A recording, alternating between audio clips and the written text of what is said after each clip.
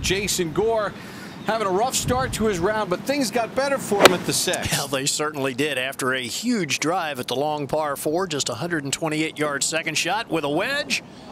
Two. That'll reduce your score.